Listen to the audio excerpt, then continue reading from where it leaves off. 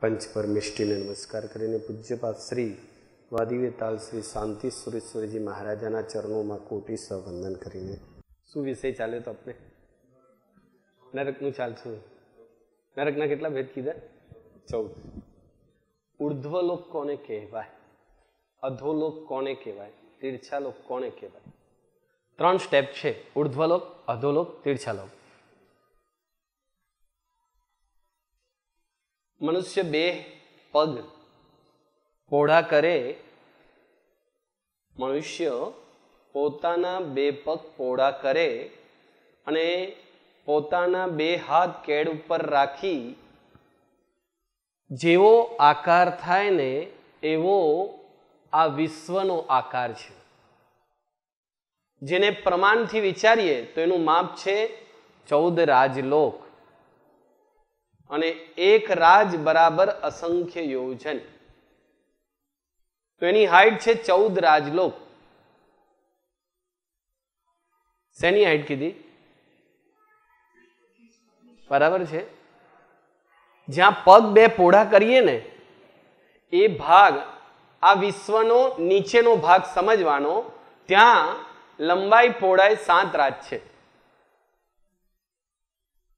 કેટલી કીધી? છેક નીચે સાત રાજની પહોળાઈ છે, ધીરે ધીરે ઘટતું જાય છે.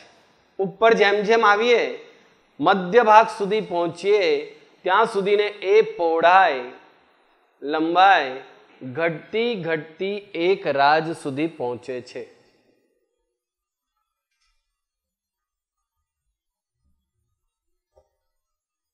ધીરે ધીરે એ પ્રમાણ વધતું પાંચ રાત સુધી પહોંચે છે. અને ઘટતું પાછું ઉપર જતા એક રાજ પ્રમાણ થાય છે.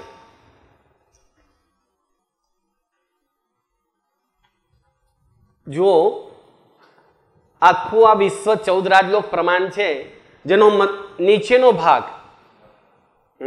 આ સર્કલ આકારમાં છે. પણ એક સાઈડનો જ આ થ્રીડી પિક્ચર નથી આ. પરંતુ સામાન્ય એક સાઈડનું પિક્ચર છે. નીચે સાત રાજ લંબાઈ, સાત રાજ પહોળાઈ અને એમ સર્કલ આકારવાળું છે. ધીરે ધીરે ઘટતા અહીં મધ્ય ભાગ આવશે. મધ્ય ભાગે એક રાજ લંબાઈ, એક રાજ પહોળાઈ સર્કલમાં ભાગ આવશે. પછી એ વૃદ્ધિ પામતું. આ મધ્ય ભાગે જ્યાં કોણીનો ભાગ છે યાને કે પગ પોળા કર્યા હોય અને કેડે હાથ દીધો હોય, એને જે કોણી જેટલો ભાગ જે સ્થાને આવે છે, તે સ્થાને પાંચ રાજ પ્રમાણ છે. અને એ ધીરે ધીરે ઘટતા છેક ઉપર એક રાજ પ્રમાણ જેટલું થાય છે. કઈ જગ્યાએ ખબર ના પડી તમને? ખ્યાલ આવી ગયો? આવો આ ચૌદ રાજ, નીચે સાત રાજ ધીરે ધીરે ધીરે ઘટતું પેટ્રોલ પૂરવાનું પેલું ચંબુ જેવું આવે ને, એને એમ કરી નાખીએ, તો ધીરે ધીરે ચારે બાજુથી ઘટતું મધ્ય ભાગમાં એક રાજ પ્રમાણ થાય છે. અને એ જ પાછું વૃદ્ધિ પામતું. અહીંયા જે ભાગ છે, પાંચ રાજ પ્રમાણ થાય છે, અને પુનઃ ઘટતું ઘટતું ઉપર છેક છેડે એક રાજ પ્રમાણ છે. એક રાજ લંબાઈ, એક રાજ પહોળાઈ સર્કલ આકારે સમજવાનું. આને ચૌદ રાજલોક કહેવામાં આવે છે. એની અંદર શું બોલું? બરાબર જે મિડલ ભાગ છે મધ્ય ભાગ એનું નામ છે સમભૂતલા પૃથ્વી. શેનો મિડલ ભાગ? ચૌદ રાજલોકનો.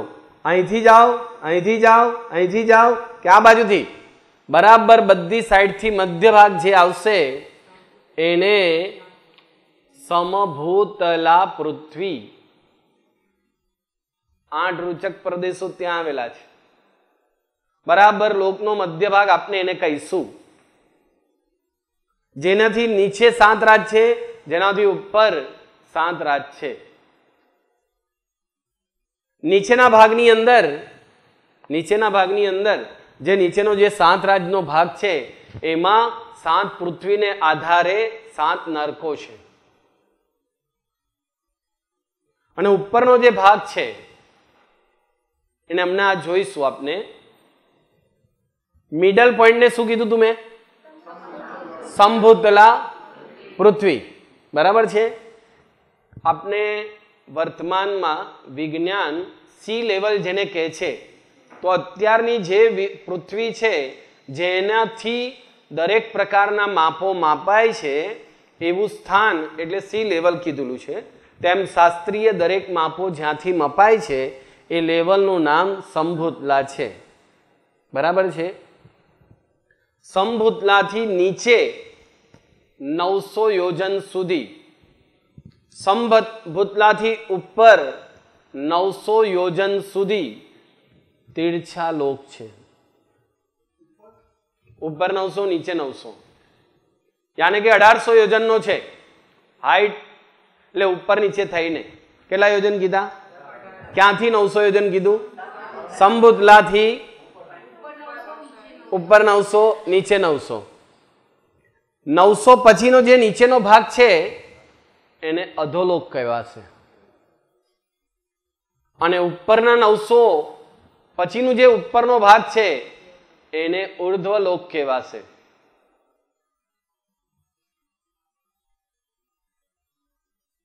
અધોલોક ક્યારથી સ્ટાર્ટ થાય છે? સંબુદલાથી નવસો યોજન નીચેથી અધોલોક. ઉપર નવસો યોજનથી ઉપરનો બધો ભાગ ઉર્ધ્વલોક. તો વચ્ચે કેટલું બાકી રહી ગયું? ઉપરની નવસો, નીચેની નવસો. કુલ અઢારસો યોજન ઊંચાઈ, ઊંડાઈ વાળો અને આમ તીર્છો એક રાજ પ્રમાણ તીર્છાલોક છે. તીર્છાલોકનું પ્રમાણ કેટલું કીધું? લંબાઈ, પહોળાઈ એક રાજ, ઊંચાઈ નવસો, ઊંડાઈ નવસો. નીચે બધી નારકીઓ રહે છે. બીજા કેટલાક જીવો રહે છે, પણ બહુલતાએ અધોલોકમાં નરકોનો નિવાસ સ્થાન છે. બરાબર છે? નીચેનો ભાગ. નરકાવાસુ કેટલા હતા? ખોટું ખોટું. ચોર્યાસી લાખ કુલ નરકાવાસો છે. પહેલી નરકમાં ત્રીસ લાખ સાચું. બરાબર? કુલ ટોટલ નરકાવાસો. આ સાત નરકી યાને કે સાત પૃથ્વીને આધારે સાત નારકી છે. રત્નપ્રભા નામ કેમ છે? એનું બીજું નામ શું? ગમ્મા. બીજી નરકનું નામ શું છે? બરાબર છે. ચાલો. આ પૃથ્વીના નામ ઉપરથી નરકોના નામો છે. નરકોના નિવાસસ્થાન આવ્યા છે ક્યાં? નહીં. પ્રતરોની મધ્ય ભાગમાં એક હજારનો જે ભાગ છે, એમાં નરકાવાસોની અંદર નારકો રહે છે. બરાબર છે? આપણે દસ પ્રકારની શું જોયું હતું? ક્ષેત્રની. એમાં શરીર સંબંધી બધી અશુભતા બતાવી હતી. ક્ષેત્રની વેદના બાકી છે. બરાબર છે આપણે કુલ ટોટલ કેટલા ભેદો થયા? દસ જ થયા? દસ જ થયા? કેટલા થયા? એ તો વેદના બતાવવાની છે. ક્ષેત્રજન્ય શું વેદના છે? પણ આપણે કુલ ટોટલ ભેદો શીખ્યા કેટલા? તો એકેન્દ્રિયના બાવીસ શીખ્યા. બરાબર છે? એકેન્દ્રિયના બાવીસ. વિકલેન્દ્રિયના કેટલા શીખ્યા? વિકલેન્દ્રિયના બે ઇન્દ્રિય પર્યાપ્તા અપર્યાપ્તા તેન્દ્રિય પર્યાપ્તા અપર્યાપ્તા ચૌરિન્દ્રિય પર્યાપ્તા અપર્યાપ્તા અઠ્યાવીસ થયા, પછી સિદ્ધિ નરકનું સ્વરૂપ ચાલુ થયું. તો નરક સાત છે, સાત નરક પર્યાપ્તા, સાત નરક અપર્યાપ્તા. નરકના ભેદો કેટલા થયા? ચૌદ. અત્યાર સુધીના જે ભેદો થયા છે, એટલે બેતાલીસ ભેદો થયા તમે કેટલા લખ્યા છે? એક પણ નથી લખ્યા. સૂક્ષ્મ પૃથ્વી કાય પર્યાપ્તા એવું બધું નહોતું આવ્યું? એમ. ચાલો, કઈ વાંધો નહીં. દસ પ્રકારની વેદનામાંથી એક બે નામ આવડે તમને? એક બે, જે આવડે તે. છેલ્લા હતા, બંધન. એક, ગતિ. સંસ્થાન. ભેદ. વર્ણ, ગંધ. અને શબ્દ.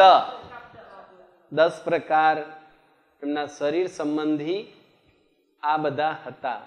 હવે ક્ષેત્ર સંબંધી પણ આવા દસ પ્રકાર છે. નવસો ની ઉપર ના આવે.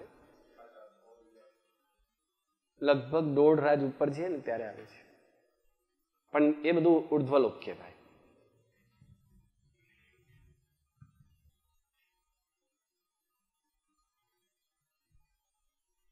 જીવોમાં મન હોય અને સમજન શક્તિ હોય અને અસહ્ય વેદના થતી હોય એવું જો કોઈ સ્થાન હોય તો એને જ્ઞાની ભગવંતો નરકનું સ્થાન કહે છે. એકેન્દ્રિયોમાં પણ જન્મ મરણ નોન સ્ટોપ પણ થઈ શકે છે. પરંતુ એ લોકોને સંવેદના જ સ્વરૂપ જે મન જોઈએ ને, એ લોકોને નથી. મૃત્યુનું મહાદુઃખ છે જ. પરંતુ ત્યાં મન સમજી શકાય એવી કક્ષાવાળું પરમાધામીકૃત, ક્ષેત્રકૃત અને પરસ્પરકૃત ત્રણ પ્રકારની વેદના છે. પરમાધામીકૃત ક્યાં સુધી કીધી હતી? વેદના ત્રણ નરક સુધી. બરાબર છે? ક્ષેત્ર વેદના સાંતે સાત નરકમાં છે. અને પરસ્પર કૃત બે રીતે છે પ્રહરણ કૃત જે છે ને, શસ્ત્રો દ્વારા એકબીજા ઉપર પ્રહાર કરીએ, તો એ પાંચ સુધી અને છઠ્ઠી અને સાતમામાં જીવાણુ દ્વારા એકબીજા ઉપર પ્રહાર કરે છે. ક્ષેત્રકૃત વેદના છે, માં સર્વપ્રથમ ઉષ્ણ વેદના પહેલી વેદના કઈ છે? ઉષ્ણ વેદના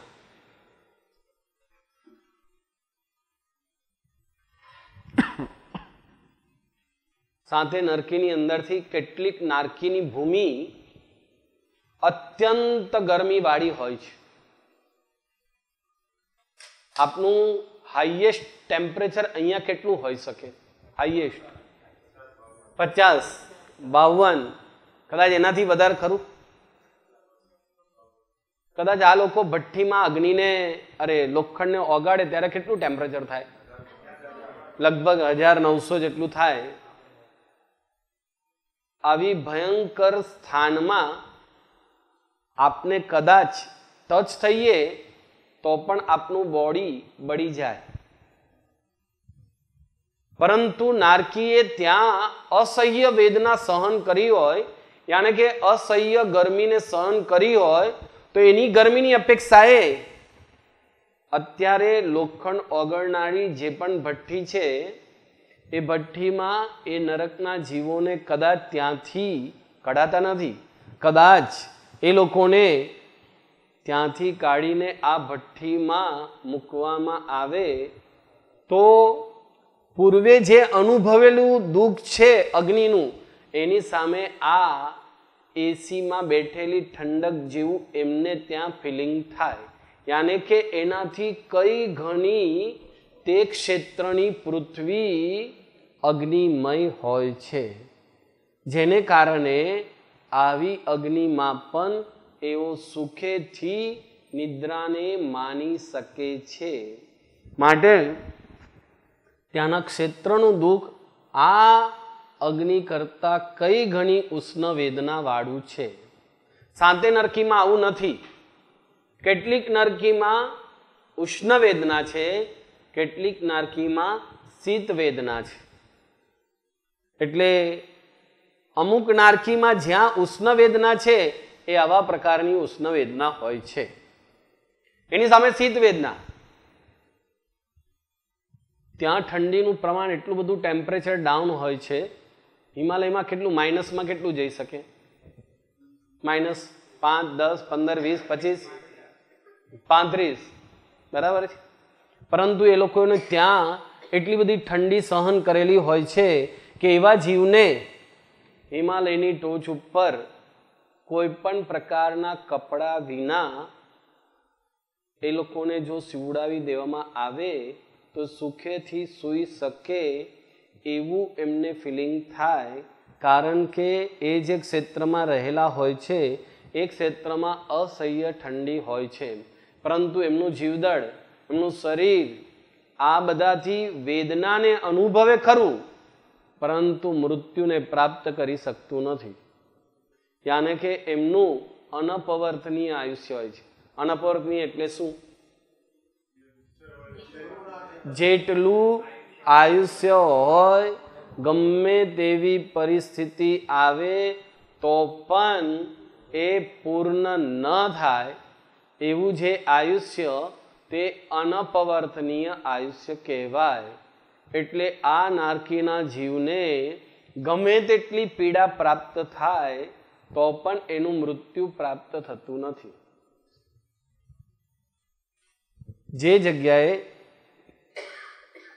ઉષ્ણ વેદના છે, યાને કે પૃથ્વી ધગધગતી છે, તે ક્ષેત્રની જે કુંભી હોય છે ને એ અત્યંત શીતળતાવાળી હોય છે. એટલે શીત યોનિમાં જન્મ અને ઉષ્ણ ક્ષેત્રમાં રહેવાનું થાય. એટલે કે એનું જે કુંભીનું, એટલે જન્મ સ્થળ અત્યંત શીતળ હોય. એટલે જે લોકો અમેરિકા સ્થાનમાં ઉદ્ભવેલા હોય, જ્યાં સતત ઠંડી જ પડતી હોય, એવા ક્ષેત્રમાં રહેલા જીવોને ગરમી વધારે વેસ્ટ ઇન્ડિઝમાં પડે છે. ગરમી ક્યાં વધારે પડે? આફ્રિકામાં? આરબ કન્ટ્રીની અંદર વધારે પડે છે. એ અમેરિકાવાળાએ જે ટેમ્પરેચર ઘણું બધું સહન કરનારાઓને જો અગ્નિવાળા ક્ષેત્રમાં મૂકી દેવામાં આવે, ખરેખર એ લોકોને અસહ્ય તકલીફો ઊભી થાય છે. એવી રીતના નરકના જીવને પણ શીત યોનિમાં જન્મ હોય અને ક્ષેત્ર ઉષ્ણ યોનિવાળું હોય, એટલે અત્યંત ઉષ્ણ હોય, માટે એ લોકોને તે ક્ષેત્ર અત્યંત પીડાદાયક બને છે. ત્રીજું, નારકો ભોજન કરે કે ના કરે?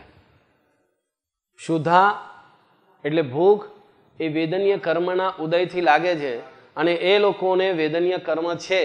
એના ઉદયથી એ લોકોને ભૂખ લાગે છે. એ લોકો અવશ્ય મેં મનથી જ બધો આહાર કરે. જે પણ આહાર કરવો હોય, જે ઈચ્છા થાય, મનથી કલ્પના કરે, એટલે મન એ પૂતગલો ગ્રહણ થાય. પરંતુ ઈચ્છિતની જગ્યાએ વિપરીત પરિણામ પામે છે.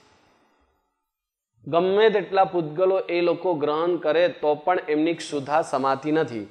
ત્યાંના ક્ષેત્રમાં જન્મેલા નારકીઓની એટલી બધી ક્ષુધા હોય છે કે જે ક્ષુધા સમાવા માટે આ પૃથ્વી તળ ઉપર જેટલા પણ વૃક્ષો છે, એ તમામ વૃક્ષોના પર્ણોને રોટલી બનાવવામાં આવે. જેટલા પથ્થર છે, એને બધાને ગોળનો કણી બનાવી દેવામાં આવે અને જેટલું પાણી છે, એને ઘી બનાવી દેવામાં આવે. અને કદાચ એ ખાયા જ રાખે, કદાચ બધું ખતમ થાય ને, તો પણ એને શુદ્ધાની તૃપ્તિ થતી નથી. એવી ફિલિંગ જ ન થાય કે મારું પેટ ભરાઈ ગયું. કારણ કે તે ક્ષેત્રમાં જન્મેલા અતૃપ્ત ને અતૃપ્ત જ રહે છે. એટલે ક્ષુધા પરિસ, એટલે ક્ષુધા પણ અત્યંત જ હોય છે. તૃષા. પાણીની તરસ. એટલી બધી હોય છે કે સર્વ પ્રકારના સરોવરોના, સમુદ્રોના પાણી કદાચ એમને પીવડાવી દેવામાં આવે તો પણ એમની તૃષા શાંત થતી નથી. એટલે જો વાતાવરણથી દુઃખી, શારીરિક પણ દુઃખી, માનસિક પણ દુઃખી, આજુબાજુથી આધિ વ્યાધિ ને ઉપાધિ જ્યાં બધું જ દુઃખ દુઃખ ને દુઃખ છે, એવું સ્થાન એનું નામ શું? નરક. કેટલું લખ્યું તમે? ચાર થઈ? કઈ કયું થયું? અને તૃષા. હવે નરાન કાયંતી ઇતિ નરકા. મનુષ્યોને જે બોલાવે, એમાં આગળ વિશેષણ મૂકવાનું છે, પાપિષ્ઠાન નરાન કાયંતી ઇતિ નર પ્લસ કી ધાતુ ઉપરથી, કઈ ધાતુ ઉપરથી કાયંતી બનેલું છે. એટલે કઈનું ક બની છે નર ક એટલે નરક એટલે એક સ્થાન છે, એ સ્થાનમાં ઉદ્ભવેલા જે જીવો હોય એને નારક કહેવામાં આવે છે. એટલે આપણે જેની વર્ણન કરીએ છીએ ને, એ નારક છે. અને જે ક્ષેત્ર છે ને, એ નરક છે. બરાબર છે? આપણે ગુજરાતમાં ઉત્પન્ન થયા એટલે ગુજરાતી કહેવાઈએ. તેમ નરકમાં જે ઉત્પન્ન થાય એ બધાને નારક કહેવામાં આવે. પરંતુ નરક અને નારકનો અભેદ કરી નાખવામાં આવે એટલે નરકને પણ નારક કહેવાય, નારકને પણ નરક કહેવાય. બરાબર છે? ચોથું ખણ જ. અરે, પાંચમું.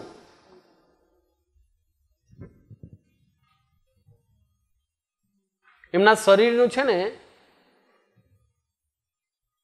એવી રચના વિશેષ છે. એમના શરીરને ચડ આવે ને, એ એટલી ભયંકર હોય ચડ કે એને કરવતથી તીક્ષ્ણ કોઈ વસ્તુથી ખણ્યા જ રાખે, ખણ્યા જ રાખે. લોહી લુહાન થઈ જાય તો પણ એમની ખણજ શાંત થતી નથી. આ શરીરની તકલીફ એક ક્ષેત્રમાં ઉત્પન્ન થયેલા નરકને હોય છે. આ કયા નંબરનું? પાંચમું. પાંચે પાંચ બોલી જાઓ વિપુલભાઈ.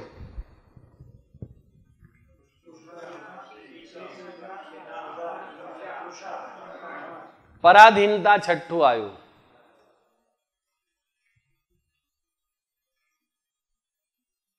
પોતાની ઈચ્છા પ્રમાણે કશું જ કરી શકતા નથી. પરમાધે, પરમાધામીને વશ એ જીવો હોય છે. એટલે એ જીવો સ્વતંત્ર કાંઈ કરી શકતા નથી. ચાહે રોગને આધીન હોય, ચાહે પરમાધામીને આધીન હોય, ભિન્ન ભિન્ન પદાર્થને આધીન હોવાથી આ જીવો સતત પરાધીનતાની ફિલિંગ કરે છે. આ છઠ્ઠો નંબર થયો. પછી સાતમો નંબર છે જ્વર. જ્વર એટલે શરીર તાવ. જ્વર. એટલે તાવનો એક પ્રકાર છે. એમનું ટેમ્પરેચર આપને વધારેમાં વધારે કેટલું? એકસો પાંચ. વધારે છ થાય તો માણસ કદાચ એનાથી આગળ જાય તો ભયંકરતા થાય. તો આ લોકોનું ટેમ્પરેચર આપનો જે પારો માપ, માપવાનું જે સાધન છે ને, એ કદાચ તૂટી જાય એવી ઘટના બની શકે. એટલે ભયંકરમાં ભયંકર એ લોકોને દેહની અંદર સતત ઉષ્ણતાની અનુભૂતિ થતી હોય. એટલે શરીર ગરમ ને ગરમ જ હોય છે. એટલે દાહ વેદના અરે જ્વર વેદના હમ.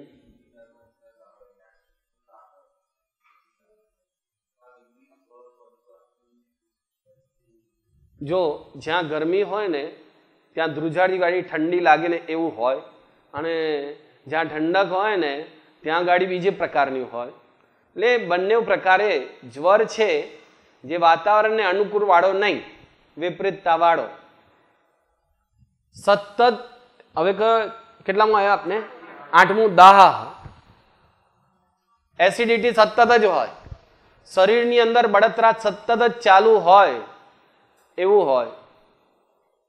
પછી નવમો રોગ આવ્યો.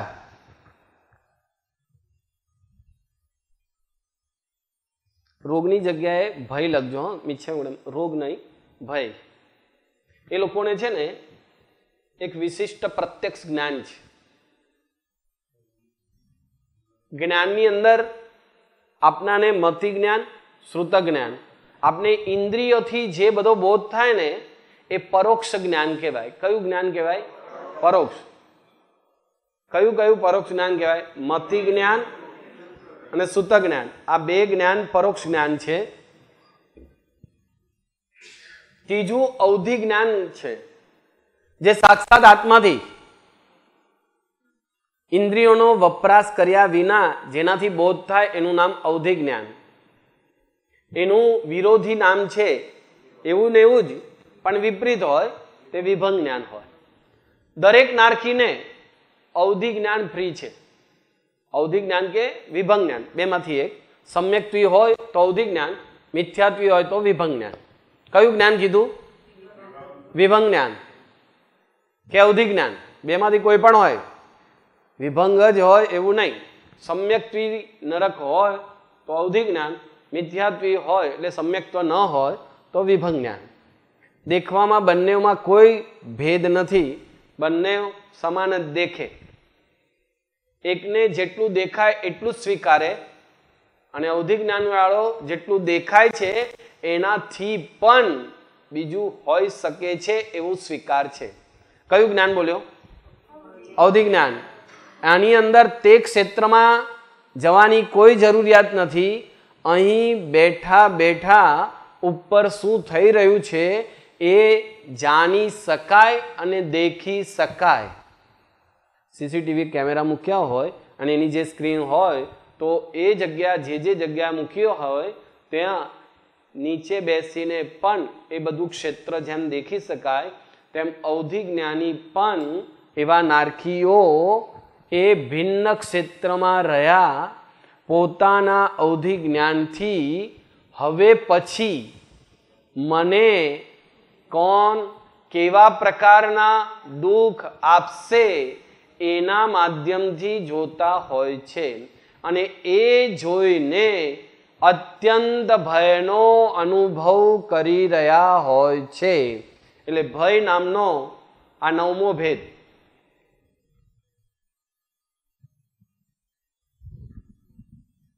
દસમો છે શોક. આ કષ્ટો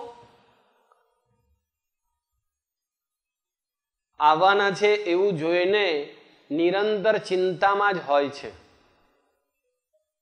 શોક.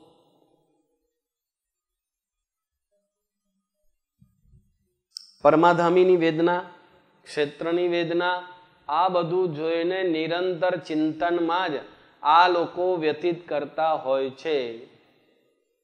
નિરંતર દુઃખને અનુભવવા વાળા આ નરકો પ્રાય કરીને એટલા હેરાન થયેલા હોય છે, પ્રાય કરીને એ નિદ્રામાં જ હોય છે.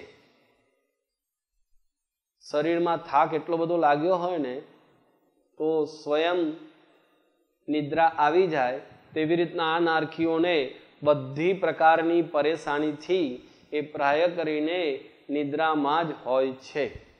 આ રીતે નરકનો આપનો ચેપ્ટર પૂરો થઈ ગયો. બરાબર છે? ચૌદ ભેદ. બોલો. સંજ્ઞી, પંચિન્દ્રિય જ. નારકીઓ અવશ્યમેવ સંજ્ઞી, પંચિન્દ્રિય જીવ છે. જે મન વાળા છે, વિચારી શકે તેમ છે એવા હોય છે. બોલો. ના, ત્યાં રાત જેવું કશું છે જ નહીં.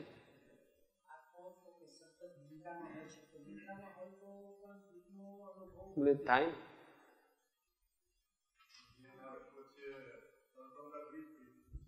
પહેલી નરકનું આયુષ્ય આવશે, પણ પહેલી નરકનું આયુષ્ય અત્યારે ખાલી લર્ન કરાવું છું. એક સાગરો પમ છે. કેટલું છે? ના, અત્યારે ના લખશો, ચાલશે. એ તો ફરીથી હું બોલવાનો છું. એક સાગરો પમ. બીજુંનું ત્રણ. એક, ત્રણ, સાત, દસ. કેટલાને યાદ રહ્યું? સત્તર, બાવીસ ને તેત્રીસ. સત્તર, બાવીસ, તેત્રીસ. એક, ત્રણ, સાત, દસ. સત્તર, બાવીસ ને તેત્રીસ. આ નરકોના આયુષ્ય છે હાઈએસ્ટ આયુષ્ય. પહેલી નરકનું એક સાગર ભમ. બરાબર? ના, તેર પ્રતર હોય ને, એમાં તેરમા પ્રતરનું છે. આમ પહેલા પ્રતરનું ઓછું. જેમ જેમ પ્રતરો નીચે જતા જાય ને, તેમ તેમ આયુષ્ય વધતું જાય. અને જેમ જેમ આયુષ્ય વધે ને, તેમ તેમ દુઃખ વધે. ઉપર જુદું હોય. દેવતામાં જેમ જેમ આયુષ્ય વધે ને તેમ તેમ સુખ વધતું જાય. જેમ જેમ એ લોકોનું આયુષ્ય ઓછું, એટલું દુઃખ એ લોકોમાં ઓછું. અરે, દુઃખ વધારે. તો એની તરતમતા હોય આયુષ્યના આધારે. ક્ષેત્રને? હા, એ તો છે જ. પ્લસ ભિન્ન ભિન્ન ક્ષેત્ર હોય. આ ક્ષેત્ર જુદું પેલ બાજુનું ક્ષેત્ર જુદું. એમાં મિનિમમ દસ હજાર વર્ષનું તો આયુષ્ય હોય જ. નરકમાં એકવાર જેને એન્ટ્રી લીધી એને મિનિમમ આટલો કાઢતો વ્યતીત કરવાનો જ. એવી રીતના દેવતામાં કોઈ એન્ટ્રી લે, તો મિનિમમ દસ હજાર વર્ષ તો ત્યાં રહેવાનું જ. એ તો હાઈએસ્ટ કીધું, આ મિનિમમ. મેક્ઝિમમ જો પહેલી નરકમાં હોય, તો એક સાગરોપમ છે. દસ કોટા કોટી પલ્યોપમ બરાબર એક સાગરોપમ, અસંખ્ય વર્ષ બરાબર એક પલ્યોપમ એટલે ઘણો મોટો કાળ છે. પૂરેપૂરી હોય. અને ક્ષયોપસમ ઓછો હોય. બરાબર છે? હવે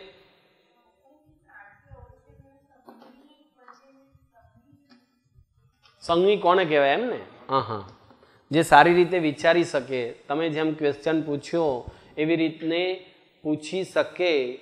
ભૂતકાળનું વિચારી શકે, ભવિષ્યનું વિચારી શકે, આવા જે વિચારવા વાળા જીવો હોય ને, એને સંગની કહેવાય. પણ લાંબુ જે વિચારી ન શકે, મને અહીંયા તકલીફ પડી, અહીંથી ખસી જાઓ. પછી આગળ જઈને મારું શું થશે એ ખબર જેને ન પડે, જેને ખબર ન પડે, જે વિચારી ન શકે, ગઈકાલે મને આ તકલીફ થઈ હતી, ફરીથી આ થયું, તો હવે મારે શું કરવું એનો વિચાર ન હોય એ બધા અસંગની કહેવાય. બેન્દ્રિય તેન્દ્રિય ચૌરિન્દ્રિય આ બધા અસંગની જ હોય. મન વગરના જ હોય. એ વિચારે આંશિક વિચારે, પૂરેપૂરું ના વિચારી શકે. અહીંથી મારે ખસવા યોગ્ય છે એટલું જ વિચારે. જે બગાઈ બગાઈ શબ્દ સાંભળ્યો છે? એને આપણા શરીર ઉપર બેઠી હોય ને, એમને ઉડાડીએ ને, હમ પાછી આટલું એમ ટર્ન મારીને પાછી અહીંયા જઈને બેસે. એટલે એ લોકોને ઉડાડીએ ને તો તરત ને તરત પાછા ત્યાં ત્યાં જ. એટલું ખબર પડે કે મારે ઉડવું જોઈએ. પણ ઉડીને પાછું જે સ્થાને મારે નથી બેસવું કે બેસવું, એવો વિચાર ના કરી શકે. એને અસંગની કહેવામાં આવે છે. બરાબર? પાંચ પરી, કેટલી પર્યાપ્તિ કેટલી કીધી હતી? છ. માં જે છઠ્ઠી પર્યાપ્તિ પૂરી કરે એ બધા સંઘની છઠ્ઠી જે સ્ટાર્ટ કરે એ પણ સંઘની. પણ જે છઠ્ઠી સ્ટાર્ટ જ ન કરે અસંગની બરાબર?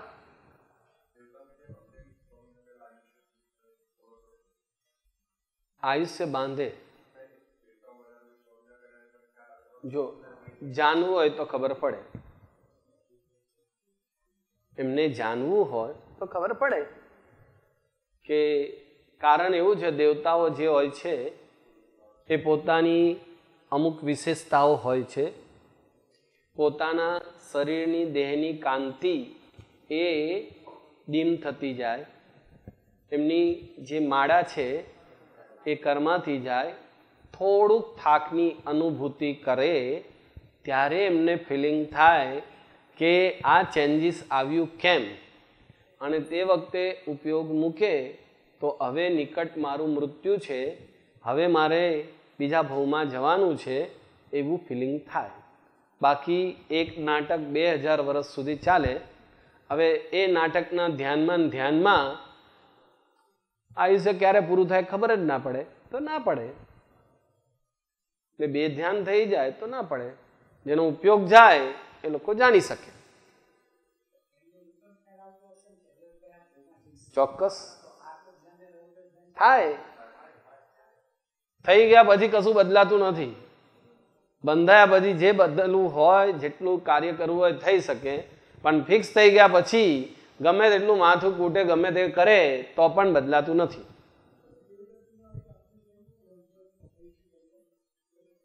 ના, છ માસ બાકી હોય ત્યારે જ બદલાય.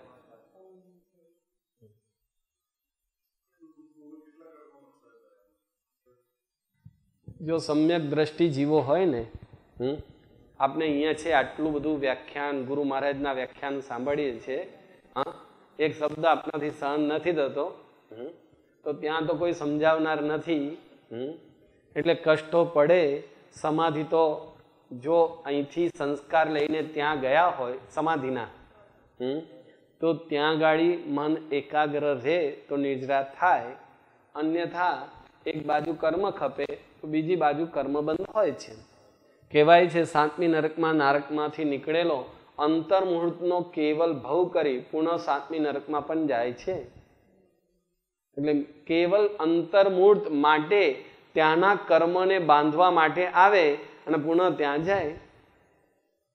જેમ કે મહાવીર સ્વામી ભગવાન સાતમી નરકમાંથી નીકળ્યા, સિંહ થયા અને ચોથી નરકે પાછા નરક તરીકે ઉત્પન્ન થયા. હા, એટલે તંદુલિયા મત્સ્યજનું અંતર્મુખ જેવું આયુષ્ય જેટલું હોય તેટલું એ અનુભવી અને પાછા સાતમી નરકમાં જઈ શકે છે.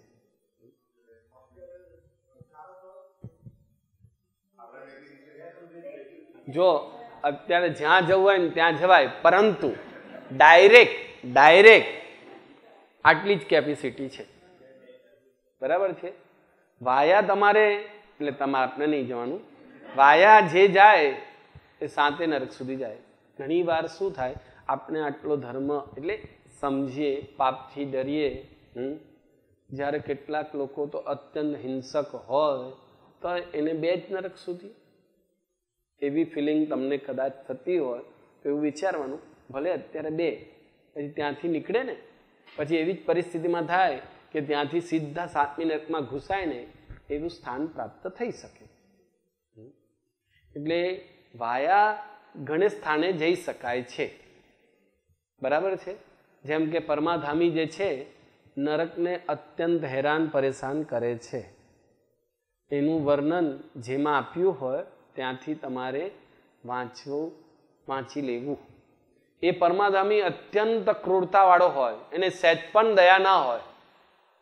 હવે એવો વ્યક્તિ આટલો નરકને પરેશાન, હેરાન, પરેશાન કરે, તો શું? એ કર્મ બંધ કરે? કરે. એને કષ્ટ શું? દેવતાઓ ક્યારેય નરકમાં ના જાય. અનંતરભવમાં એ દેવભવમાંથી મરીને નરકમાં દેવતાઓ જાય જ નહીં.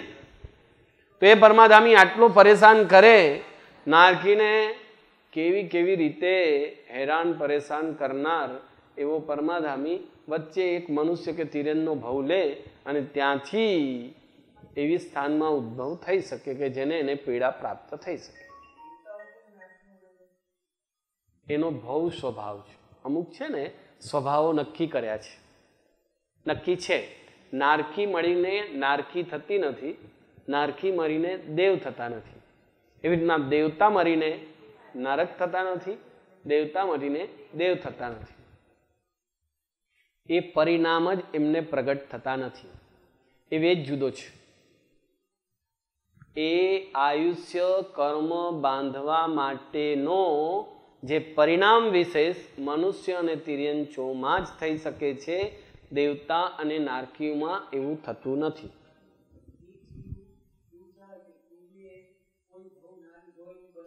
નસાજોની નસાજાની નતમ થાનમ નતમ ખુલમ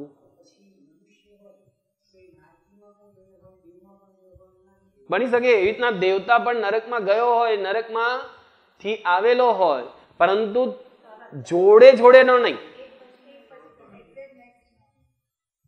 તરતનો ભવ ના હોય.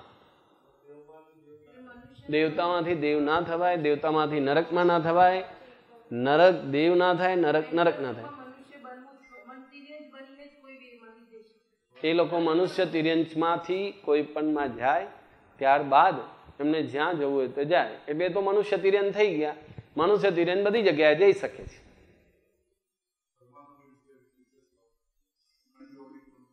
હા હા ચાલો. પરમાધામી મૃત્યુ પામીને અંડ ગૌલિક તરીકે ઉદ્ભવે છે. આ બધું બહુલતાએ સમજવાનું. કોઈમાં જકાર આપણે લેવાનો નહીં. પરમાધામીઓ મૃત્યુ પામીને આટલી અસહ્ય વેદના કોને આપી? નરકના જીવોને આપેલી હોય, એટલે અશુભ કર્મ એવું ઉપાર્જન થયેલું હોય કે એ લોકો અહીં, આપનું જે ક્ષેત્ર છે ને, કયું ક્ષેત્ર છે?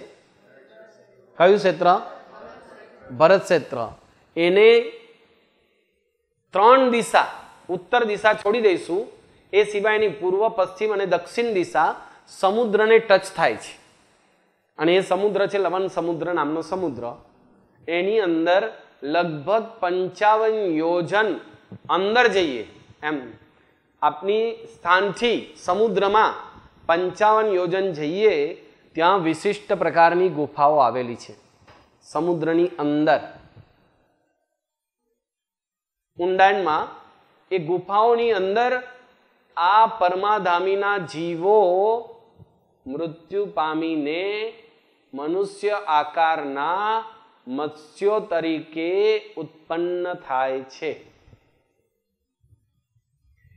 એ પ્રથમ સંગયન વાળા હોય, અત્યંત શક્તિશાળી હોય, એનાથી બધા જલચર જીવો ભયભીત પામતા હોય. એના દેહમાંથી એવી સ્મેલ નીકળતી હોય કે સ્મેલને કારણે આજુબાજુ કોઈ પણ પ્રકારના જલચર જીવો નજીકમાં આવે નહીં. એવા મત્સ્ય તરીકે એ ઉત્પન્ન થાય. હવે એની નજીકની અંદર રત્નદ્વીપ આવેલો છે. હવે રત્નદ્વીપના જે મનુષ્ય છે ને, આપના જેવા જ છે. બિઝનેસ કરે, પણ શેનો? રત્નનો. હવે રત્ન લાવે ક્યાંથી? તો આ રત્નાકરમાંથી. રત્નાકર એટલે સમુદ્ર. સમુદ્રની અંદર બધા રત્નો થાય, તો એની પેટાળમાં જવું પડે. અને અંદરથી રત્નો લાવવાના અને એ રત્નનો વ્યાપાર કરવાનો. પરંતુ એ રત્ન લેવા જાય, તો ત્યાંના હિંસક આ મત્સ્યો, આ નહીં, બીજા મત્સ્યો એમને મારી નાખે. તો એવા હિંસક મત્સ્યોથી બચવા માટે એ લોકોએ એક પ્રકારનો ઉપાય શોધ્યો કે આ જે અંડગૌલિક નામના જે મત્સ્યો છે, એને કોઈ પણ રીતે પકડવા. કારણ કે એની સ્મેલથી જલચર જીવો પાસે આવતા નથી. તો એ સ્મેલ ક્યાંથી નીકળે છે? તો એની પ્રજનન શક્તિ માટેની જે ગોલિકાઓ જે છે ને એની અંદરથી એ સ્મેલ નીકળે છે. હવે એ ગોળિકા જો આ રત્નદ્વીપના વાસી પાસે આવી જાય અને એ પાસે રાખે ને તો એની સ્મેલથી આ પાણીના જલચર જીવો દૂર થાય અને વ્યક્તિ છેક નીચે સુધી જઈ શકે અને રત્નો લાવી શકે. રત્નો મેળવવા માટે આવા પ્રકારના મત્સ્યને પકડવો પડે. કેવા પ્રકારના? અંડગોલિક મનુષ્યને. અંડ એટલે ગોળી છે. એ ગોળી એને પ્રાપ્ત કરવાની છે. તો આ મત્સ્યો પાસે હોય છે. પણ આ મત્સ્યોની અંદર એક વેરે વિશેષતા છે. એ માંસના અત્યંત લોલુપી, મદિરા, વગેરે જે નિમ્ન વસ્તુ હોય ને, એના સેવનમાં અત્યંત આસક્ત એ જીવો છે. કોણ? અંડગોલિક બરાબર છે? હવે એને પકડવા, કારણ કે અત્યંત એ લોકો શક્તિશાળી, સામાન્ય રીતે પકડી શકાય એવા છે નહીં.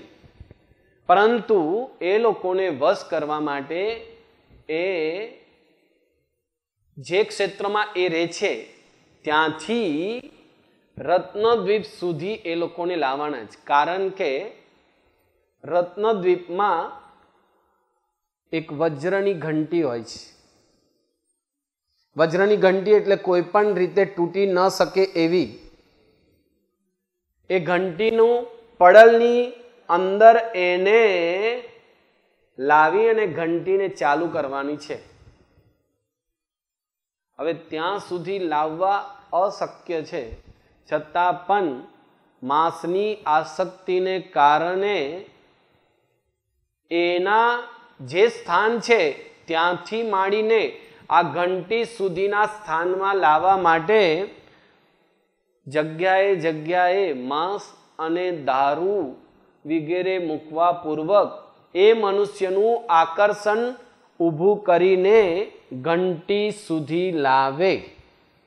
અને ઘંટીમાં પણ ઘણો ટાઈમ સુધી આહાર વગેરે કરી શકે એવું માંસ મદિરા વગેરે પ્રાપ્ત થાય એવી સુવિધા અંદર કરેલી હોય, એ આસક્તિના વશે આ મત્સ્યો એ ઘંટીની અંદર ઘૂસે અને ઘંટીનો ગેટ બંધ કરી ચાલુ કરી દેવામાં આવે. એના બે પળની વચ્ચે એ લોકો છ મહિના સુધી પીલાઈને ત્યાં સુધી એમને જ્ઞાત પણ ન થાય કે હું એની અંદર ભમી રહ્યો છું. પછી એના અવયવો છુંદાતા થાય.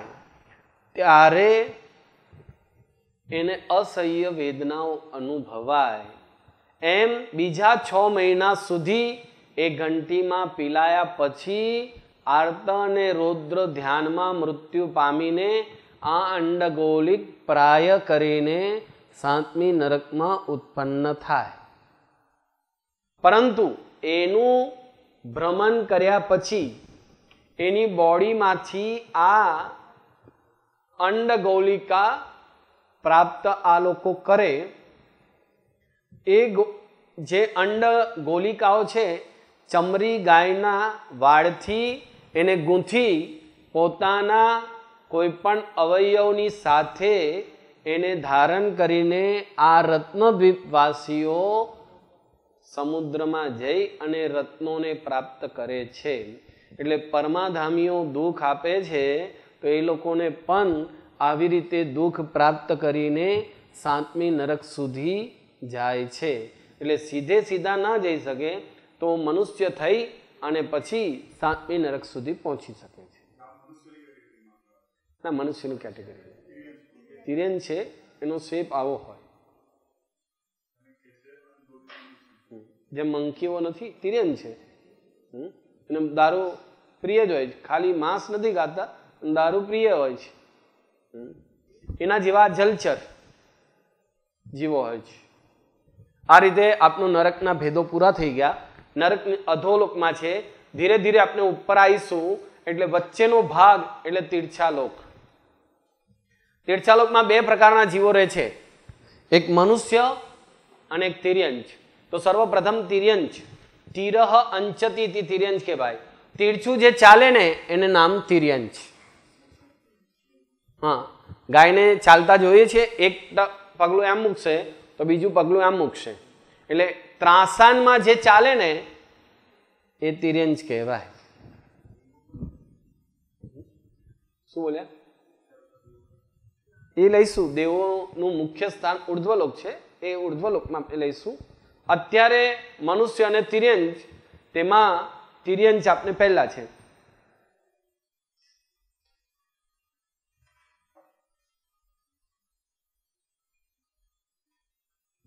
તિર્યંચોના બે પ્રકાર છે. ગર્ભજ અને સમૂર્છિમ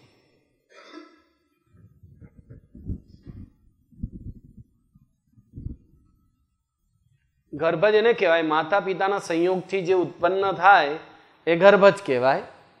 અને માતા પિતાના સંયોગ વિના એમનેમ જ શરીરની અસુચિ વગેરેથી જે ઉદ્ભવે તેને સમૂર્છિમ કહેવામાં આવે છે. માતા પિતાના સંયોગ વિના એમની જ અસુચિ એમની જ બોડીમાં જે ઉત્પન્ન થાય, એ બધા સમૂર્છિમ કહેવાય.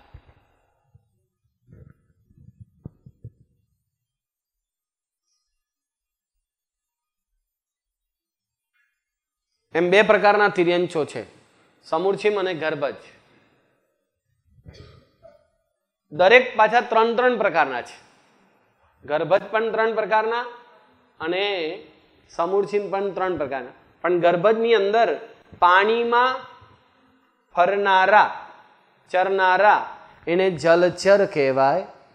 જમીન ઉપર ફરનારા હોય ને સ્થલચર કહેવાય. અને આકાશમાં ઉડનારા હોય, એને ખેચર કહેવાય. એટલે એમ તિર્યંશના ત્રણ ભેદો, જલચર, સ્થલચર અને ખેચર.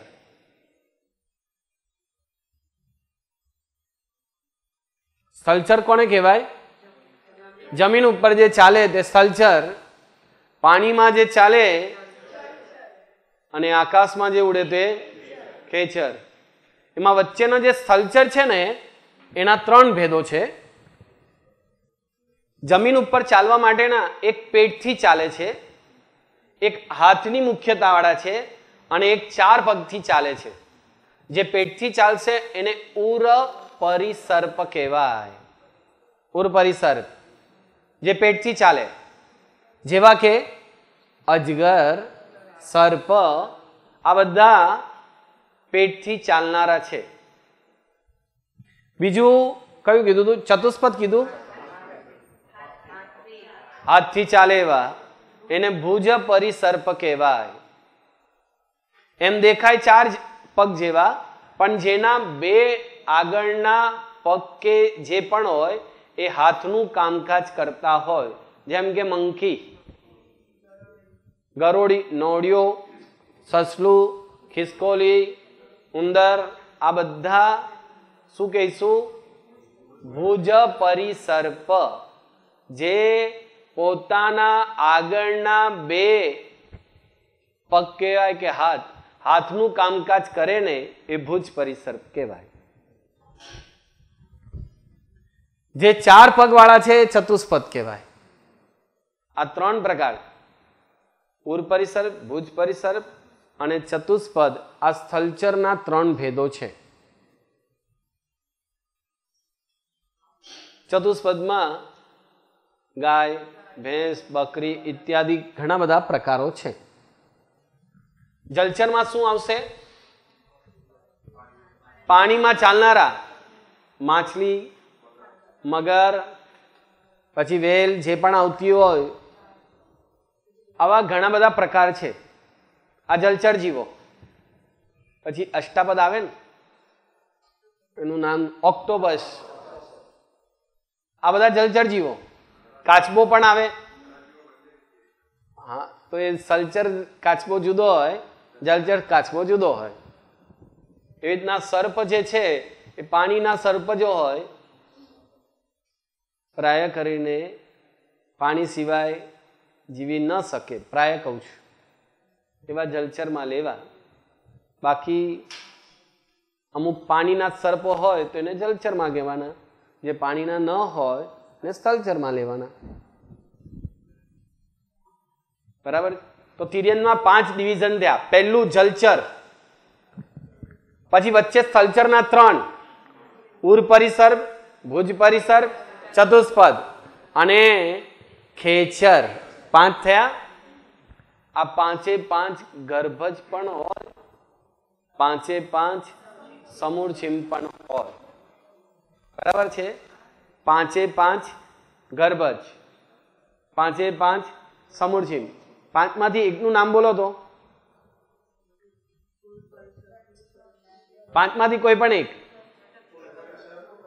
ઉર પરિસર્પ તો ઉર પરિસર્પ ગર્ભજ ઉર પરિસર્પ સમૂળચીમ દરેકના બે ભેદ.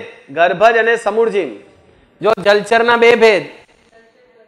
ગર્ભજ જલચર સમૂળચીમ જલચર. બરાબર છે? એટલે પાંચેના ગર્ભજ અને સમૂળચીમ થયા. આ દસ થયા. આ દસે દસ પર્યાપ્તા, દસે દસ અપર્યાપ્તા. એટલે વીસ ભેદો થયા. સમૂળચીન જલચર, પર્યાપ્તા. સમૂળચીન જલચર, અપર્યાપ્તા. ગર્ભજ, જલચર પર્યાપ્તા, ગર્ભજ, જલચર, અપર્યાપ્તા. સમૂર્છિમાં હોય એટલે અંતર્મુખમાં મરી જાય એવું તમારે વિચારવું નહીં. માખીઓ બધી સમૂર્છિમાં જ છે, તો ઉડિયા જ રાખે છે ને? મચ્છર સમૂર્છિમાં હોય છે. એટલે કઈ તરત ને તરત મરી જાય એવું નહીં. તો આ સમૂર્છિમ તિરિયન ચોપન લાંબુ જીવનારા છે. એ લોકોનું આયુષ્ય કેટલું છે એ હવે પછીના આગળ જ્યારે આવીશું, બધાના ભેદો સમજી લઈશું, પછી બધાનું આયુષ્ય આવશે. માતા પિતાના સંયોગ વિના અસુચિમાં એમનેમ જે ઉત્પન્ન થઈ જાય, એ સમૂળજી તમને અત્યારની, આ અત્યારની ઋતુમાં આપણા ઘરની અંદર ગરોળીઓ બહુ થઈ જાય છે. ગરોળીઓ ગરોળીઓ. ઈંડા વિના એમનેમ થઈ જાય છે. તો એ આવી ક્યાંથી? કે ઈંડા હતા આ સમૂળચીમ જાતિની હોઈ શકે. જે ઈંડાથી ઉત્પન્ન થાય, એટલે ગર્ભજમાં અંડજ, પોતજ અને જરાયુ. ત્રણ પ્રકારના ત્રણ રીતે ગર્ભજ જીવો ઉત્પન્ન થઈ શકે. ગર્ભજ જીવો ત્રણ રીતે અંડજ, એટલે ઈંડાથી ઉદ્ભવતા જે હોય, એ અંડજ કહેવાય. ઈંડાથી. કોણ? કબૂતર જે છે, ચકલી છે, આ બધા અંડાથી ઉત્પન્ન થાય? બીજું છે પોત જ જન્મ. પોત જ જન્મમાં જેવો વ્યક્તિનો બોન થાય, એટલે જે તિર્યનનો બોન થાય, તરત જ ચાલવા માંડે આગળ પાછળ કોઈ પણ પ્રકારની એના શરીરની અંદર અસુચિ ન હોય, એવા જે જીવો હોય, એનો જન્મ પોત જ જન્મ કહેવાય. હાથી છે. પોત જ. પોત જ જન્મ હાથીનો કહેવાય છે. બીજો ધ્યાનમાં નથી. સીનું ખ્યાલ નથી મને, હા. સસલું કદાચ છે. પોત જ જન્મમાં એક હાથી ખબર છે, પ્રાય કરીને સસલું છે. જેમાં પોત જ જન્મ કહેવાય. જેની અંદર જન્મ થાય, તરત જ વ્યક્તિ ચાલી શકે. એની સામાન્ય એટેચ હશે, પરંતુ એ તરત ચાલી શકે. એની બોડી ઉપર કોઈ પણ પ્રકારની બાળકનો જન્મ થાય, તો જે ઓરમાં વીંટળાઈને જન્મ થાય છે, એવો એ લોકોનો જન્મ નથી. આજુબાજુની ઓર જે વીંટળાઈને થતો હોય ને, એવો ના હોય. અને જેને ઓર વીંટળાઈને જન્મ થતો હોય, એને જરાયુ જન્મ કહેવાય. એટલે આપનો જન્મ જરાયુ જન્મ છે. પરંતુ તિર્યન ચોમા, ગલુડિયાઓ વગેરે જે જન્મ લે છે, જે ગાયનો જન્મ થાય, બકરીનો જન્મ થાય, આ બધાનો જે છે, એ ઓરમાં વીંટળાઈને જન્મ થાય છે. એટલે જરાયુ જન્મ કહેવાય. ત્રણ પ્રકારના જન્મ. ગર્ભજ જીવોમાં અંડજ, પોતજ અને જરાયુ. ત્રણમાંથી કોઈ પણ પ્રકારના જન્મ થઈ શકે. બરાબર છે? તમે બધા વેજીટેરિયન ઈંડા જાણો છો? નથી. અંડા અવશ્યમેવ સંગની પંચિન્દ્રિય જીવ જ કહેવાય. કારણ કે મરઘીમાંથી ઉત્પન્ન થાય છે માટે. ભરે એને હોર્મોન્સના કે જેના પણ ઇન્જેક્શન આપવાથી શીઘ્ર પ્રજનન વગેરે કરે છે, પરંતુ એ ઈંડા એની અંદર જીવ હોય જ. ભલે એની અંદર રહેલો જીવ પૂર્ણ પર્યાપ્તિવાળો પણ હોઈ શકે, પણ ડેવલપ એના અવયવ થઈ શકતા નથી, એટલે એ ડેવલપવાળું નથી. બાકી છે સંગની પંચિન્દ્રિય પર્યાપ્તો જીવ. એટલે વેજીટેરિયન હોય જ નહીં.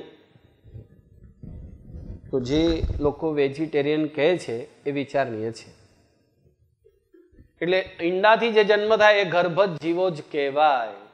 એટલે ગર્ભજ જીવોમાં ત્રણ ભેદ, અંડજ, પોતજ અને જરાયુ.